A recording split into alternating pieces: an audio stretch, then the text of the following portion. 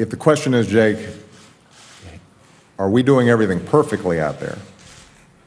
Then the answer is absolutely not. We can always do better. Are you sorry now, do you regret that your team had not done the reforms at the Minerals Management Service that you've subsequently called for? At MMS, Ken Salazar was in the process of making these reforms. But the point that I'm making is, is that obviously they weren't happening fast enough. If they had been happening fast enough, this might have been caught. Now, it's possible that it might not have been caught. I'm also curious as um, how it is that you didn't know about Ms. Birnbaum's resignation slash firing. You're assuming it was a firing.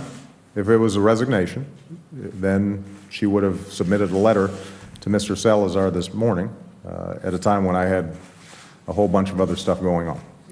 That she was fired. I'm, come on, Ja- Jackie, I, I don't know. I'm telling you the, uh, I found out about it this morning.